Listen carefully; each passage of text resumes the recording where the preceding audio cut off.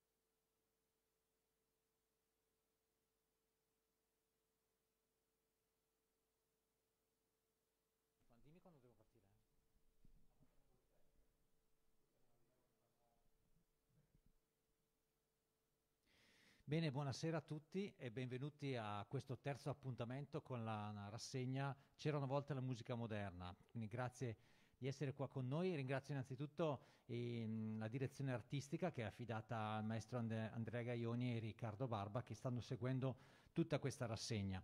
Ringrazio poi molto il nostro ospite graditissimo eh, Martino eh, De Franceschi che è qua con noi stasera e ci racconterà un po' eh, la storia e il, il mondo del suo, del suo, strumento, il contrabbasso, ci racconterà un po' di lui, un po' dei suoi percorsi musicali, che è un po' lo spirito con cui noi stiamo seguendo un pochino questa rassegna, questa rassegna musicale che vuole valorizzare un po' eh, tutte quelle esperienze eh, di musica che effettivamente si sono fatte un po' sul campo e si stanno costruendo un po' con, ehm, con lo studio, con l'approfondimento, perché appunto lo studio e l'approfondimento è una delle caratteristiche del posto dove, da dove vi stiamo trasmettendo, che è la scuola di musica del Garda, dalla quale vi stiamo trasmettendo in diretta streaming.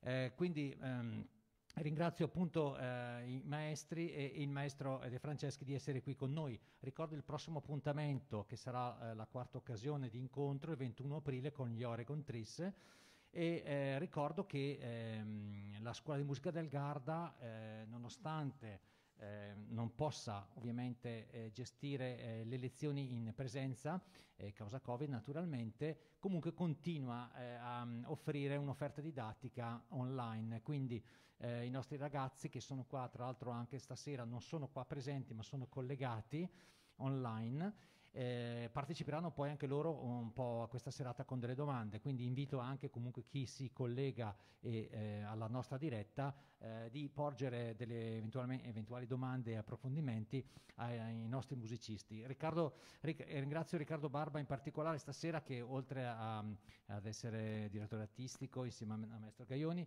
stasera sarà anche in veste di musicista eh, accompagnando e suonando e condividendo insieme a Martino De Franceschi questa serata musicale. Quindi vi ringrazio e lascio la parola alla musica. un forte applauso da casa, lo sentiamo, lo immaginiamo. Grazie e buona serata.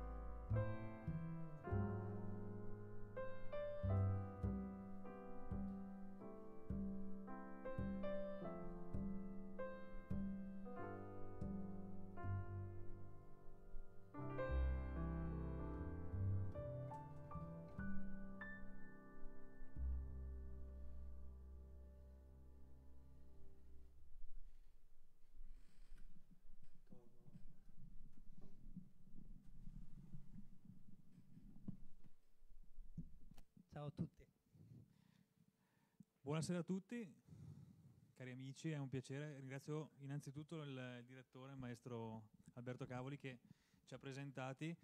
Il eh, maestro Gaglioni invece che ha preso il mio posto alla regia stavolta, che sei tu il regista, e ovviamente il nostro ospite speciale Martino Grazie. De Franceschi. Ciao.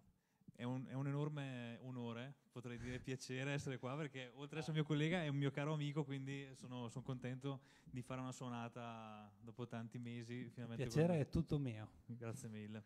E ecco, quindi diciamo che la serata è per la star, ovvero per Martino, che ci racconterà un po' del contrabbasso, visto che eh, abbiamo tanti allievi e tanti amici della scuola in ascolto, quindi sarà una, una chiacchierata. Mi- è un onore anche fare l'intervistatore in questo caso, perché eh, mi divertirò a farti domande più o meno scomode a seconda del, del caso, però comunque sempre del contrabbasso si parlerà quindi del tuo, del tuo strumento, del tuo, eh, del tuo campo, diciamo.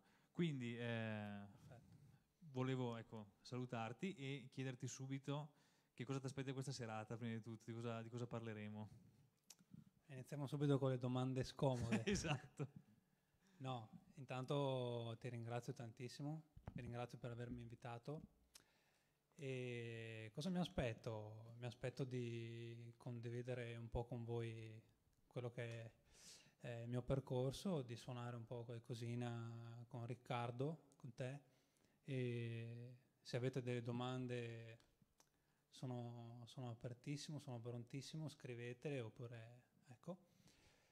E niente, Quindi adesso partiamo partire. con le domande Vai, di rito. Quindi, visto che tanti si stanno chiedendo cos'è quel bestione che hai appena suonato, direi fa- facci Allora. una, una- una descrizione, una presentazione da manuale del tuo strumento.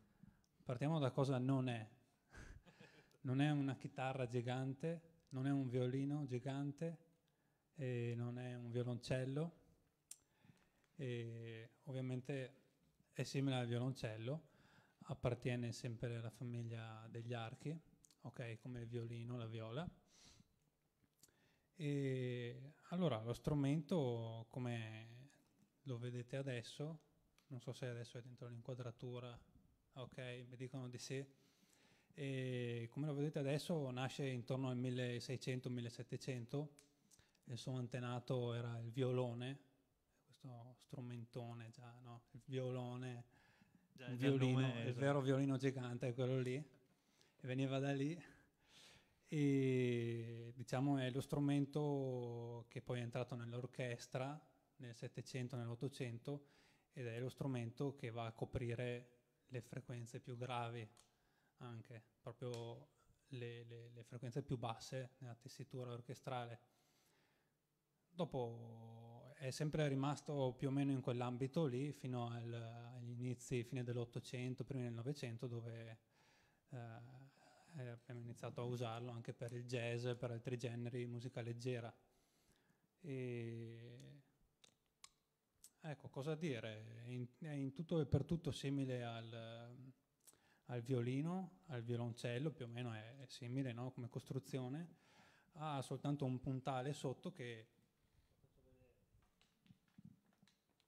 ve lo faccio vedere, che permette di, di, di essere suonato in piedi, ok? e può essere anche suonato seduto in questa maniera. E la maggior parte delle volte però se suona in piedi ovviamente uno strumento così grande è un po' abbastanza difficoltoso. No? Ecco, le tecniche, come si suona? In orchestra, come vi dicevo prima, si suona soprattutto con questo attrezzo che si chiama arco, ok? Come tutti gli strumenti ad arco. Questo in particolare è un arco tedesco e in orchestra si suona soprattutto con questa tecnica qui, no? Stiamo sfregando i crini dell'arco sulle corde. E poi nel jazz e negli altri generi più moderni eh, si utilizza un'altra tecnica, quella del pizzicato, o meglio del tocco appoggiato, che viene un po' dalla tecnica del pizzicato che era già presente nel, nella tradizione classica orchestrale, no? che era così, ok, un pizzicato molto leggero. Dopo a New Orleans e a Chicago, nei primi anni del Novecento, i primi bassisti hanno, hanno come dire, constatato che il volume non era sufficiente, hanno cominciato a pizzicare con più forza e da lì è nato un po' lo slap, ok, questa tecnica che potete sentire anche nei primissimi dischi, le prime registrazioni di jazz, eh, Dixieland, New Orleans, questo genere qui. Ed è, non so se l'avete visto mai, questa, questa tecnica qui è quella che si vede oggi soltanto uh, nel, nel, rock and roll, rockabilly, nel rockabilly, esatto, questa qui.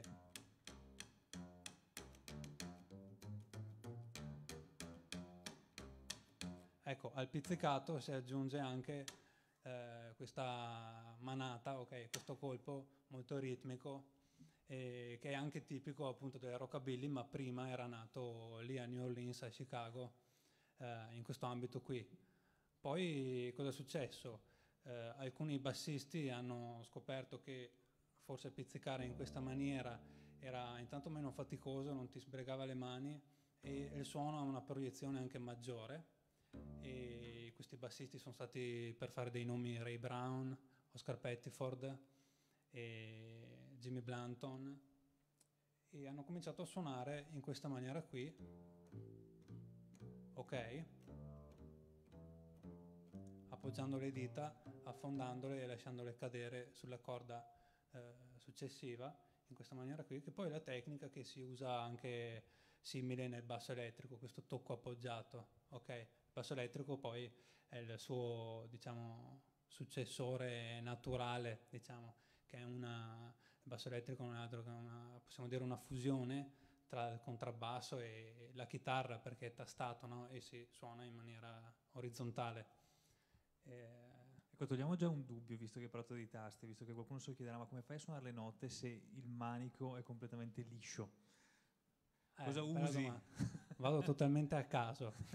no, allora, ovviamente serve utilizzare molto l'orecchio e questa è diciamo, la, la condizione eh, primaria.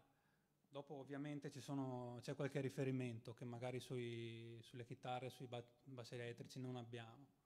Eh, ad esempio in questa posizione qua, più o meno a metà del manico, io so che dove c'è quella spalla del contrabbasso, ok? Qui in prossimità di questo punto c'è quella nota, ok? Eh, per il resto è tutta una questione di proprio accezione e di posizioni anche, ok? Io imparo che la distanza tra una nota e l'altra è a questa distanza tra, queste, tra le mie dita, ok? E studio questa posizione in modo da ottenere bene o male sempre quelle note lì, intonate. So se è... Sì, quindi utilizzando la, la memoria muscolare, quindi una Utilizzo, volta trovata Esatto, la memoria muscolare e la propriocezione, insomma è uno strumento abbastanza lungo, quindi sì, c'è bisogno di veramente sì. Dopo Invece le corde vuote che, come sono intonate in un contrabbasso? Sono accordate proprio come il basso elettrico, o meglio il basso elettrico è accordato come il contrabbasso, Mi, La, Re, Sol, partendo dalla corda più bassa. Ok, sono anche le ultime quattro della chitarra, un'ottava sotto però. Dico bene, chiedo al maestro. Okay. Quindi diciamo che sul pianoforte sarebbe l'ultimo Mi che ho a disposizione. Esatto poi saliamo di una quarta, quindi andiamo sulla. Una quarta sopra, poi un'altra quarta, un'altra quarta. È accordato per quarte. Che invece ad esempio il violoncello è accordato in modo diverso. Gli altri archi sono accordati per quinte. Esatto. Sì. Mi è venuto in mente, c'è un bassista, Red Mitchell, non so se lo conosci, che credo sia l'unico, da quello che so nella storia, che ha accordato il suo strumento per quinte, proprio come un violoncello. E ovviamente potete immaginare, cambiano tutte le posizioni, eh, non so come faccia a suonare, ma è veramente uno dei miei bassisti preferiti. Sì, sì, sì. Fa delle cose straordinarie. Chiaramente aumenta un po' il range potenziale, no? Ma un po' più su e molto più in basso anche. Perfetto. E ci sono anche delle tecniche per adesso, perché sai che mi diletto di composizione ah. la sera tardi quando nessuno mi guarda. Eh, ci sono delle tecniche particolari molto, diciamo, contemporanee, tipo molto sotto il ponte. Ma sì, Ti è mai capitato di suonare sotto il ponte? Mi è capitato molto poco, non fa parte della mia esperienza, però sì, c'è, c'è qualcosa. Per esempio, beh, le, le, più comuni. Ok, mi metto qua così, così vedete anche suonare con l'arco in questa maniera, potresti no, ci sono varie maniere. E con per, il legno sul... Esatto, col legno che è oppure questo effetto qua.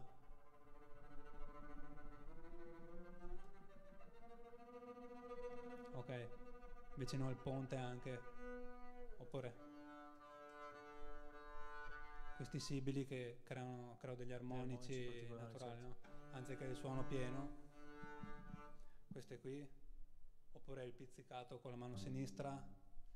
Eh, sì, quindi diciamo che comunque lo strumento, nonostante abbia eh, un suono molto mm, diciamo, peculiare e abbastanza, cioè subito riconoscibile, ha un, delle possibilità espressive anche diverse, con effetti, diciamo, certo, effetti diciamo speciali. Che, sì, senz'altro. Siamo un po' schiavi del nostro ruolo che certo. ci costringe un po' a suonare anche sempre in una certa maniera, serve un certo volume, un, un certo tipo di suono, certo. no?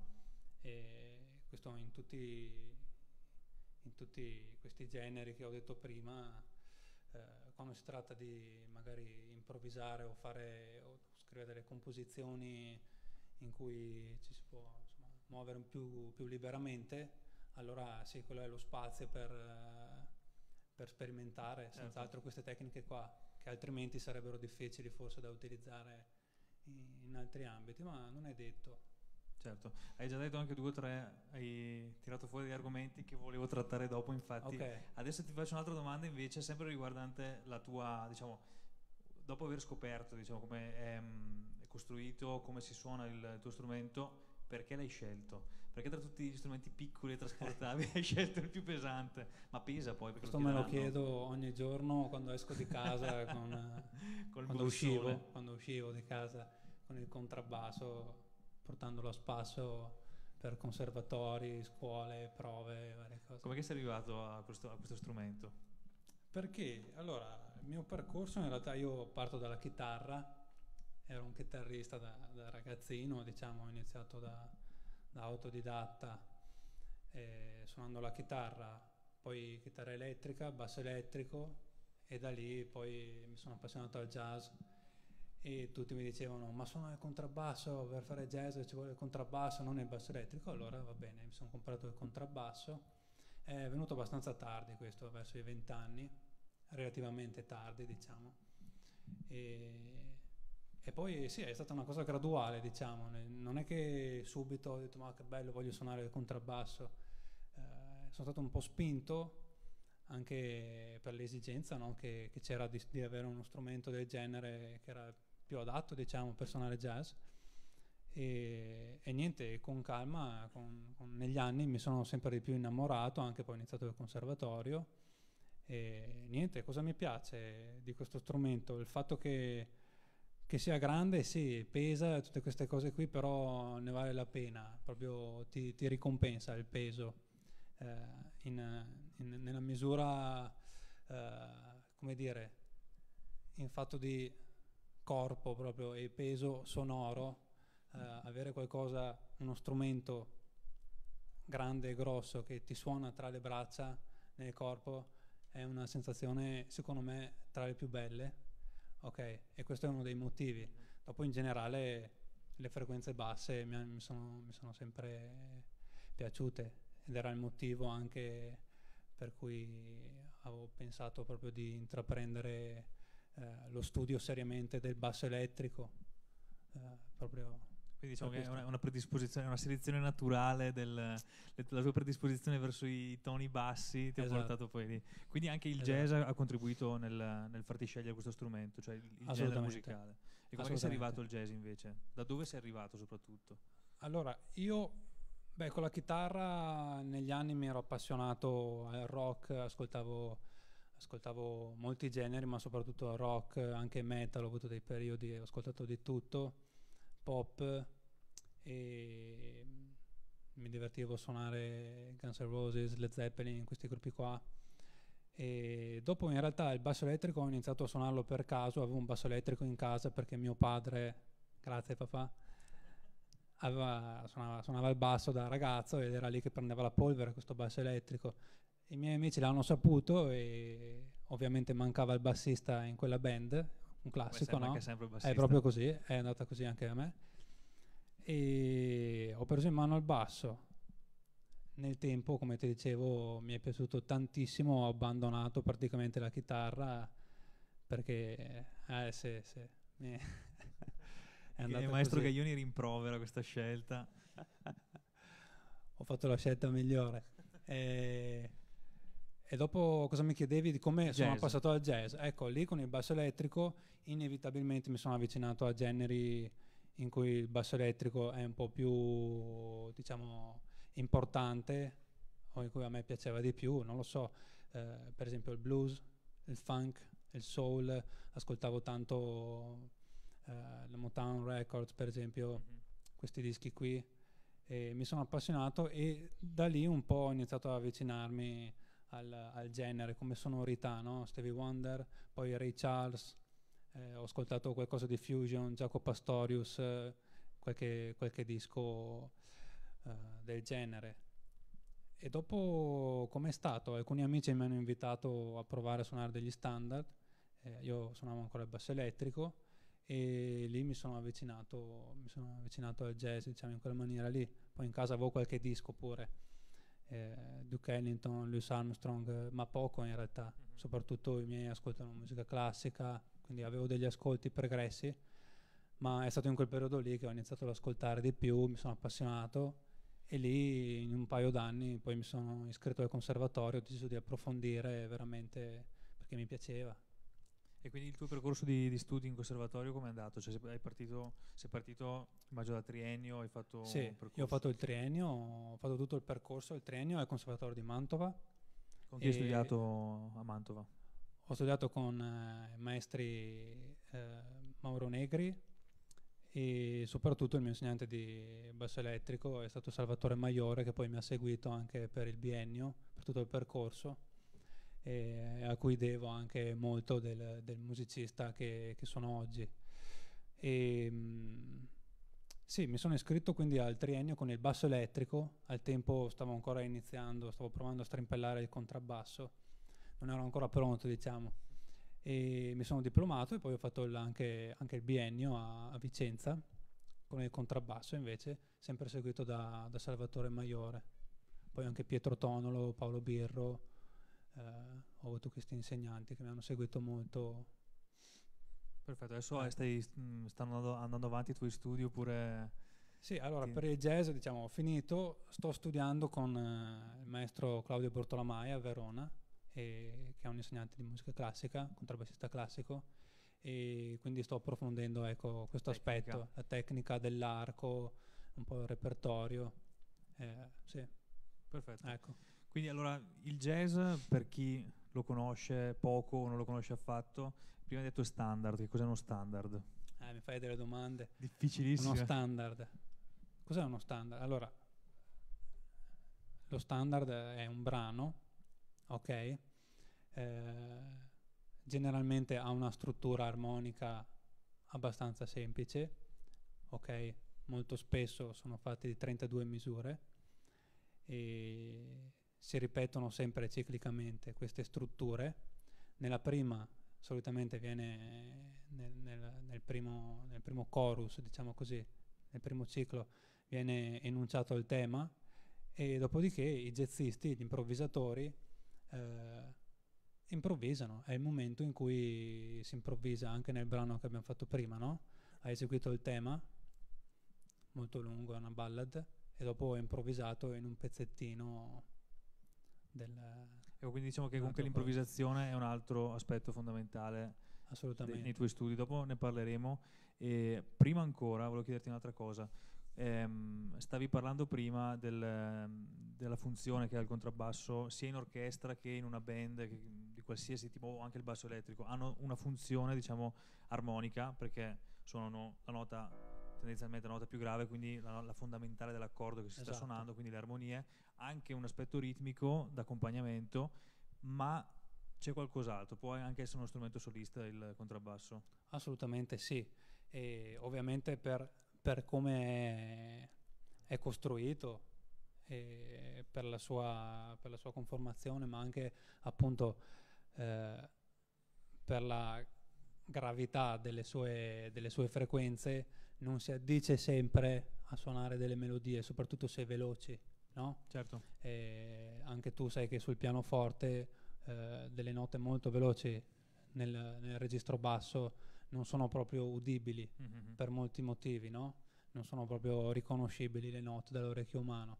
Ecco, quindi non è sempre adatto, però ci sono stati bassisti che insomma hanno, hanno avuto un, un ruolo emancipatorio, diciamo, eh, per quello che riguarda il ruolo del basso elettrico. Uno dei primi, secondo me, è stato Jimmy Blanton, ok, che era il contrabbassista dell'orchestra di, di Duke Ellington. C'è anche un bellissimo disco in duo con Duke Ellington, Ah, sì, One bellissimo. for Blanton, che è Esatto. incredibile. Poi eh, per nominarne altri, Oscar Pettiford, eh, Ray Brown, poi con alcuni bassisti come Scott Lafaro c'è stato un ulteriore salto in cui il contrabbasso è diventato uno strumento veramente importantissimo nell'equilibrio del trio. Ok, è un trio jazz, il trio di Bill Evans, lui militava in quel trio e avevano un ruolo, si può dire, paritario, i tre strumentisti.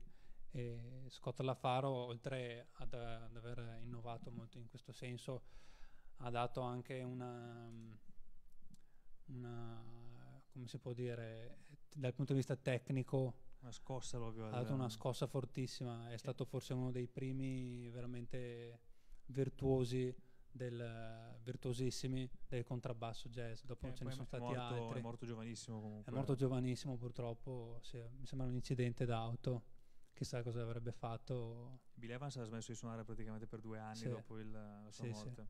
Da quanto era affezionato comunque sia alla persona che al- alla sua qualità esecutiva e espressiva sul- sullo strumento. Sì, sì. Io sono convinto sia uno dei contrabbassisti più grandi della storia, assolutamente. Ho letto anche che stava iniziando a studiare con l'archetto nell'ultimo periodo della sua vita.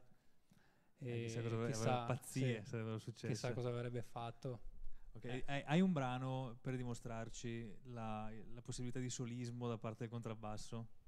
Ok, eh, potremmo improvvisare un brano, vediamo, di Oscar Pettiford, per Sì. esempio, che è stato uno dei pionieri dell'epoca un po' precedente del bebop, anni 40.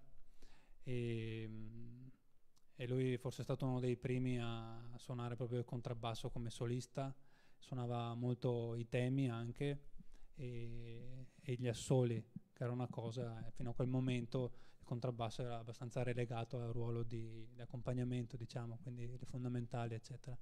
Quindi che Però brano vorresti fare? Facciamo tricotism. Ma incredibile, è il brano che ho qua. Ma dai, ho, ho il foglio, l'ho portato da casa, io ogni giorno esco con un foglio, c'è Tricotism, tra l'altro con gli appunti di Martino De Franceschi, un'edizione rarissima, e allora ve lo eseguiremo, Tricotism di Oscar Pettiford.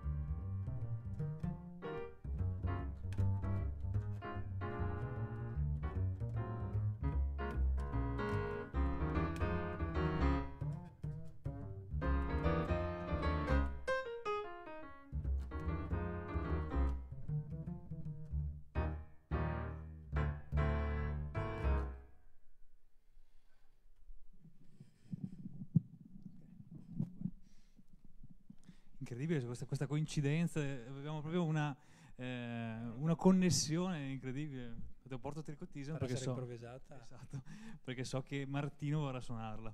Quindi ecco, in, in questo brano Pettiford, oltre a essere un compositore comunque abile, come abbiamo sentito, era un grandissimo contrabbassista e quindi in questo caso il tema è stato esposto dal contrabbasso, quindi la, la melodia principale del tema esatto. è stata esposta da te e poi sei, ti sei trasformato cambio d'abito, accompagnatore per la sola pianoforte e poi di nuovo eh, solista, prima per un'improvvisazione, quindi quello che hai fatto era improvvisato, che il notaio chiede se era tutto improvvisato, sì, era un'improvvisazione. Era, sì, sì, sì, era sì, improvvisato. Perfetto. E poi dopo siamo tornati sul tema, quindi il, eh, ecco, le possibilità dello strumento sono variegate, ovviamente hai suonato con una sola tecnica, quindi con, il, con un pizzicato diciamo sul, sullo strumento, però ehm, ci possiamo dire che è uno strumento che, come dicevamo prima, ha delle possibilità espressive abbastanza ampie.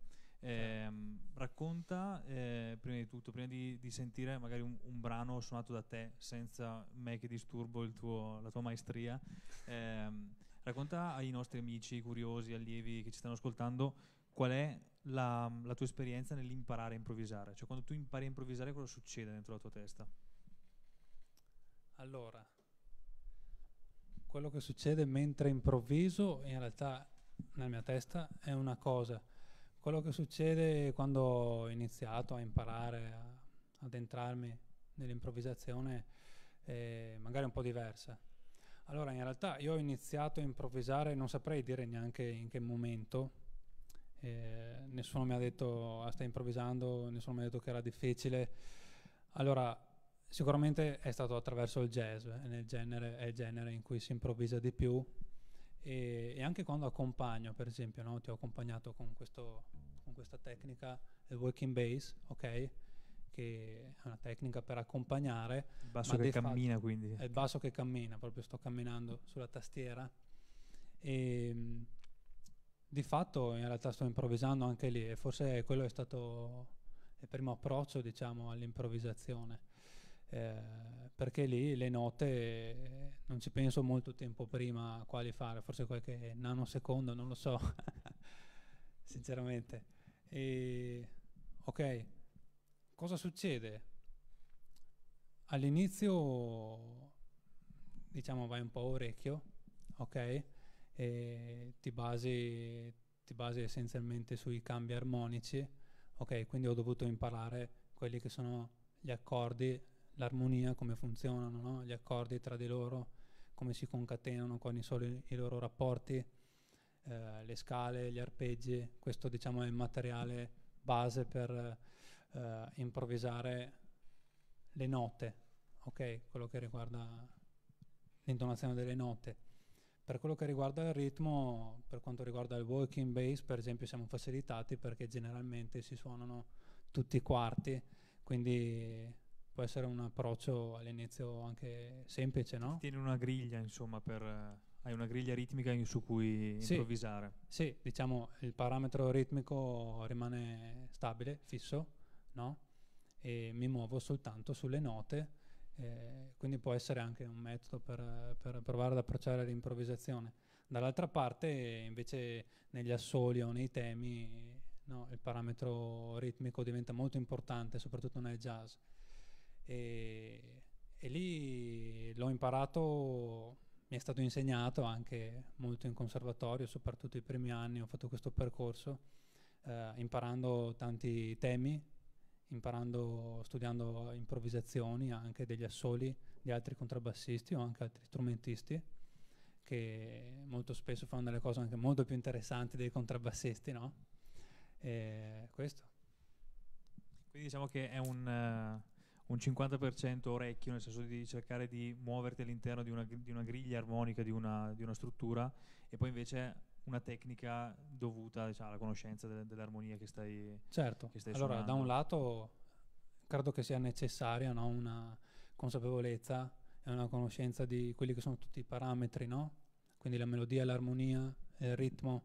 Si può andare certamente a orecchio, però insomma a un certo punto suoni riesci a suonare soltanto quello che senti e non magari altre cose, è più difficile spingerti, spingerti un po' oltre.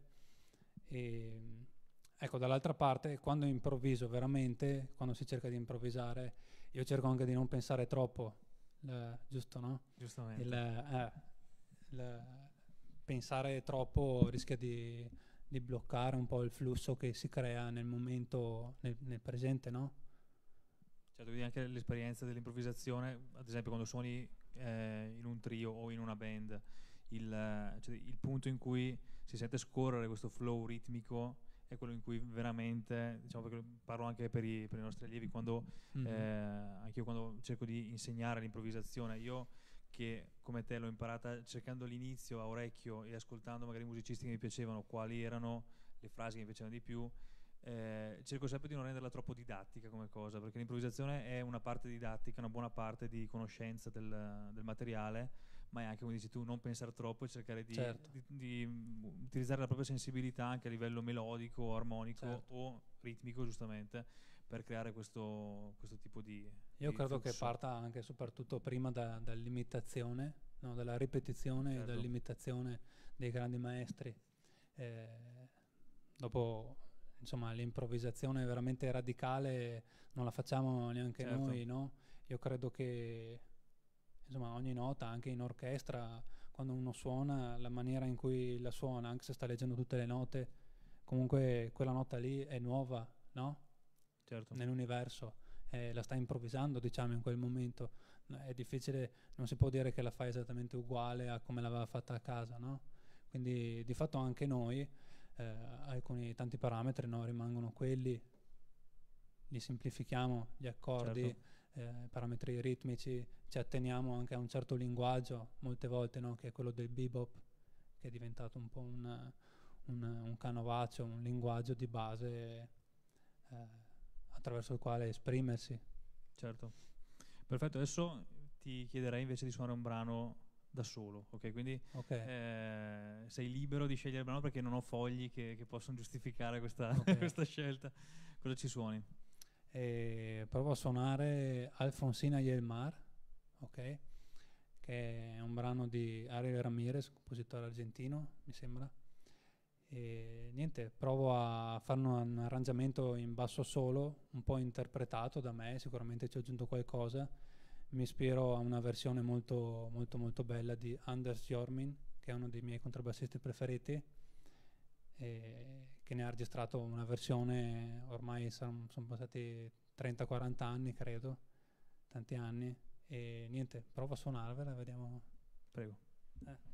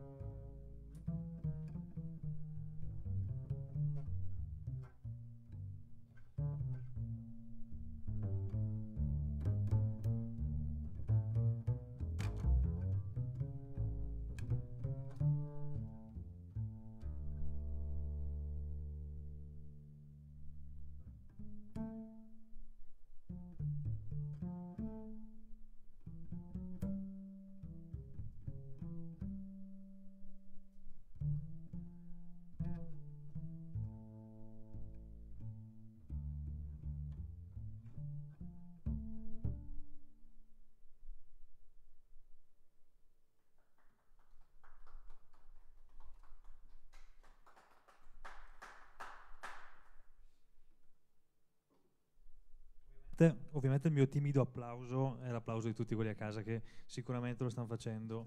Eh, bravissimo. Poi tra l'altro ti dicevo prima che questa qua è una scelta che mh, mm, mi è piaciuta tantissimo perché è un brano che io conosco una versione di Mercedes Sosa che è un, una versione incredibile e quindi per tutti quelli che non, non conoscevano questo pezzo ringraziamo ah, Martino che ce l'ha fatto riscoprire Alfonsina e il Mar e ora è il momento di mettere la prova al maestro con un test il test dei, dei, dei, posso chiamare dei sei generi perché adesso io ho deciso di suonarti un, uh, un accompagnamento, un, una struttura armonica molto semplice, un turnaround. Turnaround per chi non lo sapesse è quando ci si gira così mentre stai suonando, ti giri dall'altra parte. no, sto scherzando. Ovviamente turnaround, parlo anche, guardo il maestro Gaioni perché è il maestro, eh, diciamo, il, il, grande sapiente armonico di questa scuola. E turnaround è un un, una, una, progressione armonica che gira su se stessa, continua a girare, ad esempio. Ciclica. Okay. Cosa devo fare? Tu devi suonare, adesso io ti dico sei stili musicali. Ok. E tu dovrai seguirmi mentre io li suono, ok? Cioè ti seguo. Sì, io però, adesso però... te li dico in anticipo così ti prepari, intanto fai uno scanner okay. mentale delle Dimmi tue conoscenze. Suoneremo okay. questo turnaround in Do maggiore. Prima stile swing, quindi suoneremo swing poi una bossa nova, quindi brasileiro, funky, ok? Non ho messo heavy metal perché non sapevo che ero un fan dell'heavy metal, però non vorrei distruggere il contrabbasso o il pianoforte del maestro che sennò ci, ci, mi licenzia immediatamente. Quindi swing, bossa nova, funky, cantautorato italiano De Gregoriano, quindi suoneremo come De Gregori. Ah, non gregoriano. Non gregoriano, metti il De prima e ci siamo, come De Franceschi, che non è Franceschi. Poi un, eh, un 60s, cioè una, diciamo una ballad, eh, un terzinato anni, ah, anni 60, come, okay. come, è scritto nei libri da ricordi. Ok, ti anticipo solo questo ritmo. E poi dance. Okay. E poi dance devastante alla fine. Quindi attenzione, il, il maestro De Franceschi eh, accetta la sfida dei sei generi. Il Six Genres eh, Test, swing, bossa nova, funky, cantautorato de Gregoriano, 60s e dance. Farò del mio peggio per metterlo alla prova.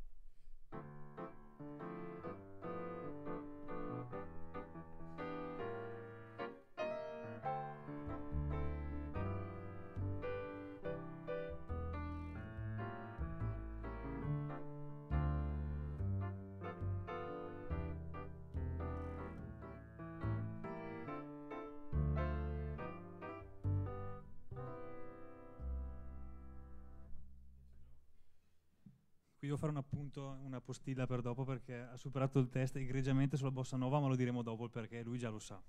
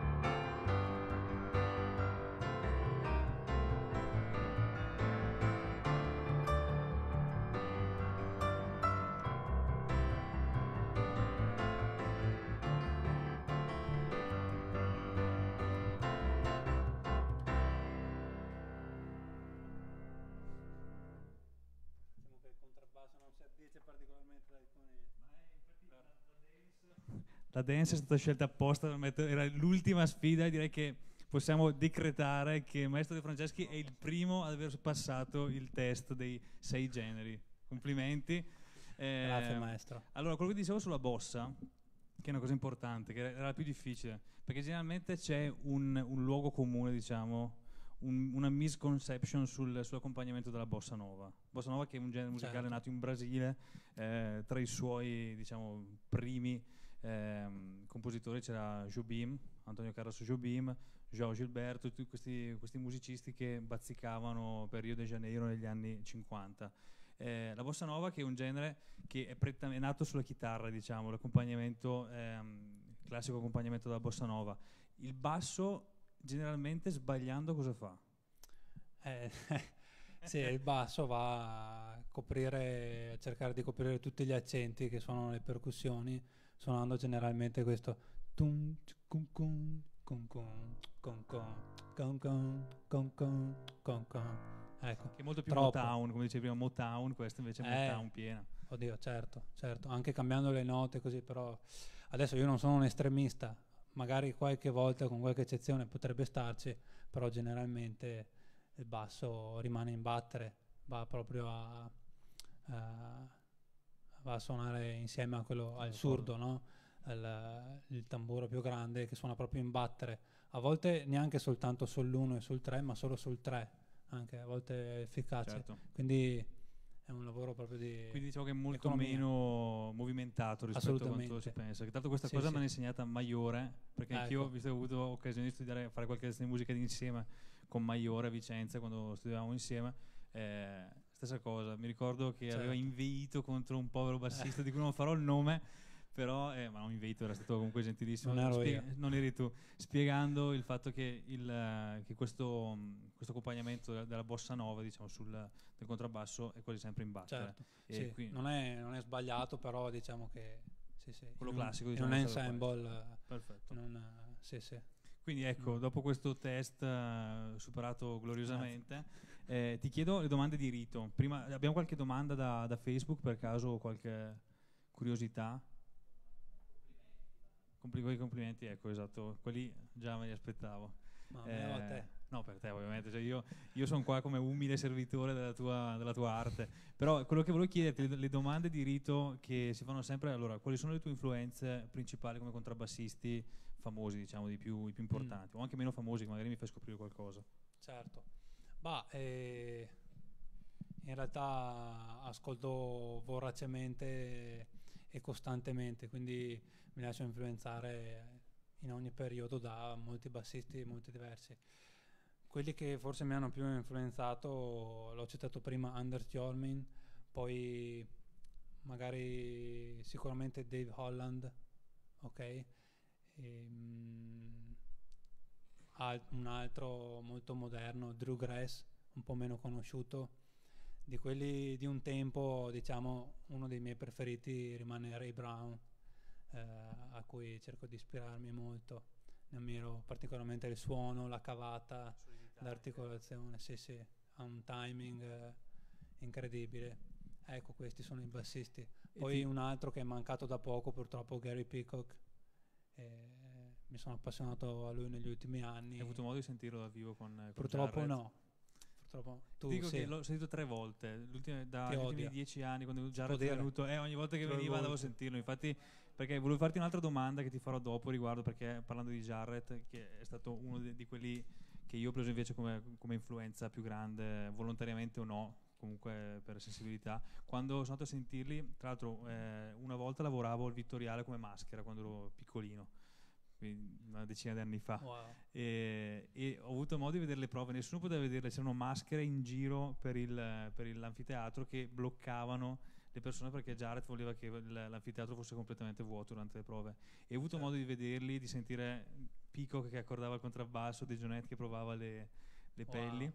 e Jared che provava due pianoforti perché c'erano due Steinway gran coda li ha scelto dei due quelli, ah, certo. quello che preferiva e si era fatto anche livellare perché lui voleva a bolla il, il, pianoforte e le prove ti dico che sono state un'emozione gigantesca perché ero proprio sotto il palco vedevo le mani di Jared e Peacock wow. che Jared cambiava da un brano all'altro diceva proviamo, partiva con uno standard, Peacock faceva un loading e suonava tutto, cioè a memoria ogni, ogni Sì, pezzo sì. Che, che Jared proponeva lo, lo suonava e il suono che, che- che veniva fuori da quelle, da quelle prove, sentirlo poi eh, evoluto nella- nel concerto è stata un'emozione pazzesca. E sì, infatti trio proprio una cosa telepatia. incredibile, esatto, telepatia. Telepatia. E infatti volevo chiederti questa cosa, che invece interessa più ai musicisti navigati, più che ai, ai nostri allievi più giovani. Il peso di, questi, di queste influenze sul tuo stile, cioè quanto senti a volte che eh, finisci sempre in quel suono. Te lo dico perché io quando studiavo a Milano, Greg Burke, il, il mio insegnante, un certo punto mi ha detto tu per dieci anni non ascolti più Jarrett, perché eh, anche Certo. non volendo quello che, che sentivo, che mi piaceva, lo studiavo, cercavo di metterlo sul, sul mio strumento e poi il peso diciamo, di, di quella, di quella- della grandezza di un, di un musicista di questo tipo la sentivo sempre. Mm, Tu quanto senti, quanto senti che stai cercando suono di Ray Brown e quanto invece certo, ti porti da qualche altra parte, anche più personale diciamo? certo. Eh, diciamo che è molto facile cadere magari in qualche cliché o qualche frase dei nostri, dei nostri miti, dei nostri idoli, no? Eh, devo dire che non ho mai studiato tanto, no? non ho mai studiato approfonditamente un solo bassista o, o due bassisti o comunque ho sempre cercato di avere più riferimenti possibili, anche magari cercando di trascrivere diversi strumenti, eh, diversi strumenti musicali Certo, in sì, modo sì. da, no? In cui cambia proprio il fraseggio, lo stile, il suono. Chiaramente la ricerca del suono personale eh, credo sia una delle cose più difficili di questo mondo. Sì, che dura una vita E, probabilmente. Certo, io ho appena iniziato, sinceramente. È anche una domanda che non mi ero molto fatto per, per buona parte del mio percorso nel conservatorio. No, non sempre eh, ci facciamo queste domande che magari sono molto importanti, le diamo per scontate, no? Trovare il nostro suono. Sì, anche perché sono domande che non hai, esatto, non- riesci a avere una risposta a questa domanda certo. nell'immediato, cioè devi cominciare a creare una, una tua mitologia personale anche che pian piano va a creare quel tipo di, di suono Certo, particolare. sì. Invece dal punto di vista oltre a Maggiore, che Salvatore Maggiore che hai già citato, qualche altro maestro o musicista con cui hai suonato che ti ha lasciato tanto nel tuo percorso nel diventare più che contrabbassista musicista a tutti Mm. gli effetti? Beh, allora, contrabbassisti, beh, ovviamente devo soprattutto a Salvatore Maiore, appunto, eh, il mio percorso didattico, soprattutto sullo strumento. Eh, devo moltissimo a un contrabbassista americano, si chiama Ruben Rogers, è abbastanza famoso e con cui ho fatto la primissima masterclass. Io suonavo il contrabbasso, ero agli inizi, suonavo malissimo, come adesso, insomma, poco meno e, e lui mi ha spronato molto, mi ha dato i consigli giusti al momento giusto e è stato veramente qualcosa di rivelatorio. E, poi ho fatto anche un masterclass con Orlando Le Fleming, un altro ba- bassista che sta a New York adesso, anche con lui è stato molto bello. Con Paolino Dalla Porta ho fatto due volte i seminari estivi e poi i musicisti con cui ho suonato e devo, devo dire che mi sento molto fortunato, a parte aver avuto la possibilità di suonare con te. Questa è una captazio benevolenzie che un- una pinta No. di Guinness te la meriterai alla fine del, del lockdown. Infatti oggi, non a caso, È San Patrizio, Patrizio, infatti ok. abbiamo pianto la mancanza dei bar aperti per questa festa, ma recupereremo. No, mi dicevi anche musicisti, non solo bassisti, chiaramente eh, è importantissimo e lo è stato importantissimo per me avere a che fare e suonare con altri musicisti, non solo bassisti. E per fare qualche nome sono veramente fortunato di aver conosciuto Sandro Gebellini, che credo che da queste parti sia noto, eh, bravissimo chitarrista, ok. E per esempio suonare con i veterani, con persone che, che sono lì da una vita, che fanno quella cosa, che suonano, eh, è secondo me la, la scuola più grande. E quindi, per esempio, queste sono state le esperienze che, che mi auguro ancora di, di poter vivere, conoscere persone un po' più vecchie di me, con più esperienza, con cui condividere la musica e imparare un sacco di cose. Certo. E non so, magari Sandro sta anche guardando, magari a casa davanti al computer lo salutiamo se ci guarda il, il mitico Sandro. Direi che è arrivato il momento delle domande dei ragazzi. Adesso il nostro regista, mentre io continuo a chiacchierare, ehm, preparerà il, tutto il settaggio per far parlare i ragazzi che sono a casa. L'altra volta erano qua con noi quando abbiamo fatto l'ultimo incontro, okay. che erano qua schierati come un plotone delle domande che hanno, hanno chiesto a, al nostro ultimo ospite Massimo Minelli delle, diciamo, delle curiosità legate al mondo della musica, della produzione musicale, degli studi. Mm. Invece adesso sono curioso di sapere cosa chiederanno a te, perché hanno a che fare con uno strumento che non... Posso anticipare qualche domanda dicendo che non so quanto pesa, non so quanto è alto o lungo, dipende. La corda vibrante è lunga un metro circa. Abbiamo già un... un chi, chi, è che abbiamo in, in collegamento? Emma da Desenzano, giusto? Buonasera. Allora, io vorrei chiedere, avete parlato di suono e vorrei chiederti se posso darti del tu. In, certo. in un periodo come questo, dove ormai cioè, è già stato scoperto tutto, non ci si inventa più niente, quanto è importante la tecnica e ciò che si studia nella ricerca del proprio suono e quanto è importante il sentimento che si ha dentro, perché penso che i musicisti che fanno questa cosa per mestiere lo fanno perché poi sentono una forza, vogliamo definirla così, una passione, la definiva qualche filosofo, eh, che ci spinge un po' tutti, ecco.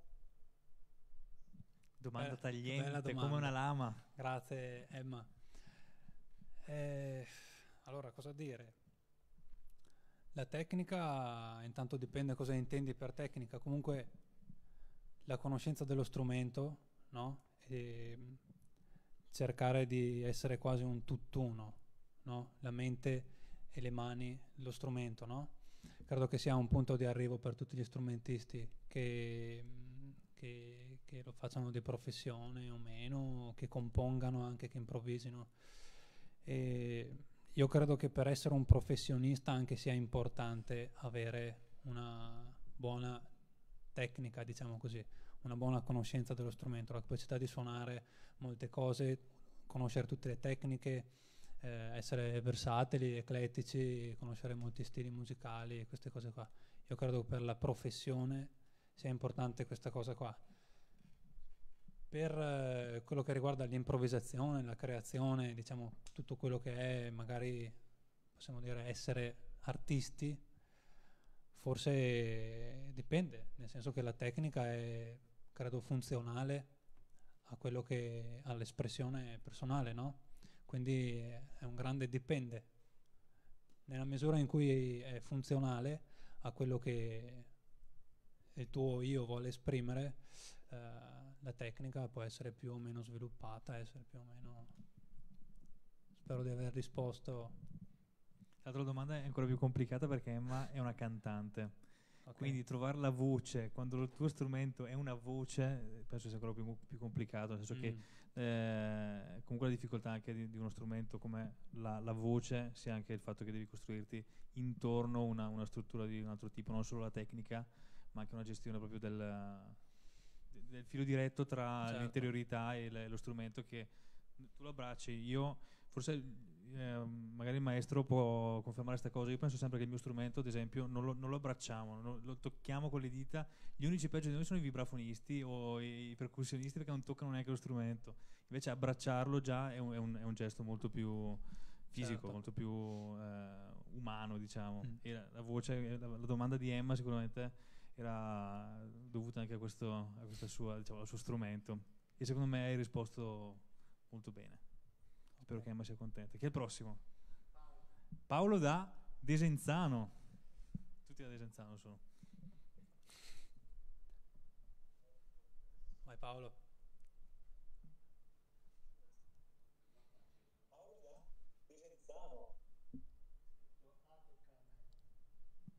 Ah, ha scritto A tocca a me. ok, eh, scusate, è solo che ho un po' di, di ritardo tra la live e il, di Webex. Eh, comunque la mia domanda eh, riguardava prima di tutto se è stato difficile tecnicamente passare dal, eh, dal basso al contrabbasso e poi una specie di, di seconda domanda era eh, riguardo il fatto di come hai diciamo recuperato eh, gli anni persi eh, nel suonare il contrabbasso perché hai detto che hai iniziato relativamente tardi, intorno ai 20 anni. Ok. E, ehm, rispondo, vado in ordine. Prima domanda. Allora, il passaggio dal basso elettrico al contrabbasso, oddio, questa è la mia esperienza personale, poi credo che siamo tutti diversi in questo. E è stato abbastanza intuitivo all'inizio, devo dire che è, è quel periodo è coinciso anche con l'inizio del mio studio dell'armonia, uh, della, della, dell'arrangiamento di, di, di tutti i vari tutte le varie componenti della musica, la teoria. E, ehm, quindi non mi è stato difficile partire quasi da zero su uno strumento nuovo. Eh, chiaramente la difficoltà più grande, mi chiedono no, sempre, è l'intonazione, quello sì, e chiaramente c'è anche una difficoltà proprio fisica, no? mm, diciamo che il tuo corpo deve, deve, proprio imparare a gestire la forza, uh, le dita si deve robustire, ci sono una serie di magari scogli uh, proprio fisici che all'inizio, che all'inizio ci sono, no? Credo sia normale, sì. Ginnastica, sì, è, molte volte è nella nostra mente. Dopo la fatica più grande è nelle dita, io credo che lo sforzo più grande sia stato nelle dita del, della mano sinistra, soprattutto nel mignolo che non era così sviluppato, e poi nella mano destra moltissimo. Il basso elettrico, sì, le corde sono un po' più sottili, ma non è niente di paragonabile alla forza che, che serve per avere un bel suono eh, rotondo e grosso sullo strumento. Ruben Rogers, che ho citato prima, è proprio stato quello che mi ha detto devi suonare più forte, man, devi suonare devi, devi, farti venire le bolle, mi ha fatto vedere le bolle sul, sul, sulle sue dita, devi essere così, aveva delle dita di cemento. E lì ho capito, sì, ho avuto questo problema, forse ce l'ho ancora, di, di suonare un po' troppo delicatamente eh, il contrabbasso, mi è sempre stato detto, venendo forse dal basso elettrico, probabile che sia quello uno dei motivi. E, e invece no, tante volte insomma, il contrabbasso bisogna proprio picchiarlo, sì, sì, per essere suonato, almeno in questi generi. La seconda domanda eh. invece riguardo agli anni, gli anni, gli anni persi. persi. Gli anni persi non si recuperano più, nel senso che, ovvio, no? Devo dire che non, oddio, non mi sono pentito chiaramente di questa, insomma, non, non ho potuto fare altrimenti non ho mai pensato di cambiare strada per questo motivo. Ci sarà sempre qualcuno più talentuoso che ha iniziato prima, da bambino, eccetera, no? Io sono felice tutto sommato de, de, del mio percorso ed è, credo sia anche un bene che sia nato spontaneamente l'amore per il contrabbasso, l'amore per il jazz e che non sia stato magari forzato qualche anno prima magari se qualcuno mi avesse detto vai a suonare in conservatorio, vai a studiare contrabbasso classico, forse una forzatura così potrebbe magari avrebbe potuto funzionare, ma poteva anche essere meno motivante, non lo so. Ad esempio anche Paolino dalla Porta che hai citato prima, anche lui ha iniziato molto tardi a suonare, esatto. diceva intorno ai 20 anni, 18-20 sì, anni sì. anche lui. Sì, in realtà diciamo lo strumento uno strumento così no, è difficile da suonare prima dei 15-16 anni. Ci sono dei contrabbassini per bambini, certo, si può studiare il violoncello, si può avere un altro approccio alla musica anche. Io sono stato contento, alla fine suonavo la chitarra, suonavo il basso elettrico, ho comunque avuto un, un percorso prima, prima, di passare al contrabbasso. Paolino dalla Porta credo che suonasse la chitarra prima. Sì, mi pare di chitarra sì. classica forse. Ecco. Ok, Penso che anche Paolo sia soddisfatto di, questa, di queste risposte. Tocca a Christopher, giusto? Indovina dove viene Christopher? Desenzano. Bravissimo.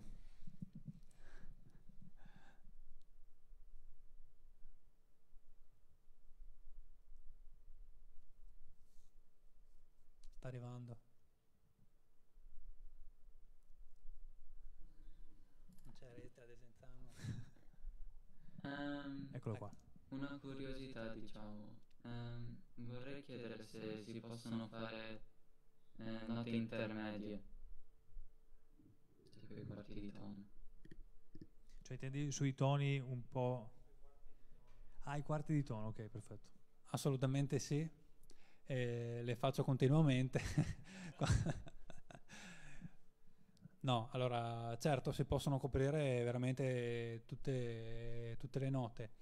Noi impariamo a suonare intonati no? con queste posizioni di cui parlavo prima, perché suoniamo con eh, strumenti come il pianoforte o la chitarra che sono temperati e se noi suoniamo una nota, come hai detto tu, intermedia, suona male, diciamo così, eh, che anche questo è forse un po' soggettivo, no? Eh, uno molto critico sente la minima stonatura, eh, la storia è piena di bassisti e contrabbassisti stonatissimi, Gary Peacock Esatto, eh, stavo ok, per è uno di anch'io. quelli, eppure lo adoro, ma anche, non lo so, Charlie Eden, ok, eh, sono stati molti contrabbassisti che insomma un po' per la, la tecnica, ma non è soltanto quello.